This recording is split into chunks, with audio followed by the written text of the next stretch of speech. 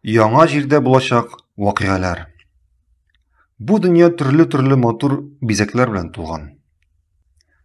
Һәм алар үзенең утлары, төсләре белән күзләрне үз-үзенә тартып торалар.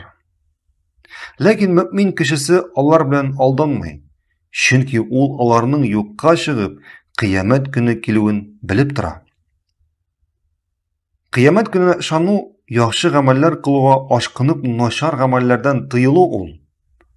Аллаһ әйтте, Аллаһка һәм кыямәт көненә ышанганнарыгызга үгет насихат бу.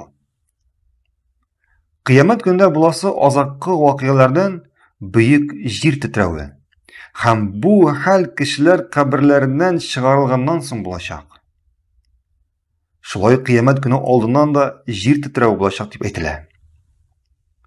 Һәм таулар урыннарыннан суыртылып, алынып, кумга әверелеп, таралган йон сыман булырлар.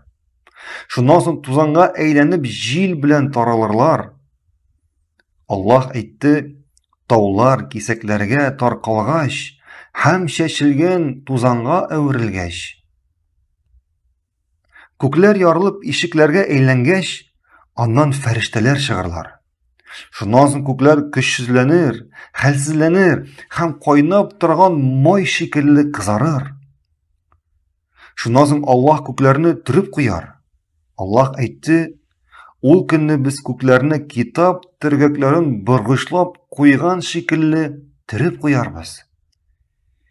Ибн Габбас тәфсирләп, китапларның битләре төрелгән шикелле дип әйтә. Бу көнне җир җиргә охшамаслык итеп үзгәрер. Пәйгамбәрбез саллаллаһу алейхи ва салlam әйтте, кыямәт көнендә җир бер икмәк сыман булар һәм Аллаһ Раббыбыз аны беребез икмәкне кулыннан кулына әйләндергән төсле кулы белән әйләндерер.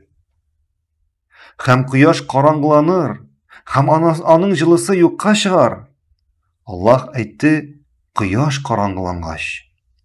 Ибн Аббас тәфсирләп, ягъни каралып киткәч дип әйтте.